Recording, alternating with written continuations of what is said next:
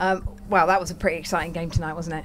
Yeah, yeah, it was a good game. You know, the lads, the lads battled hard. Um, also, obviously, we, we got a big result in Basingstoke, and obviously we, we finished off the job tonight. You want want an easy victory because Basingstoke are a very good team, but we uh, we dug in and stick to the game plan, and obviously we're going through to the final, so everyone's everyone's happy about that.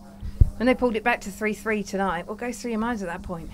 Yeah, it's, it's nervy times, but you you know what you can't you can't think about it like that. You've you've just got to go out there do the job that you've you've been told to do, and you know what, like I say, the boys the boys dug deep and got the job done.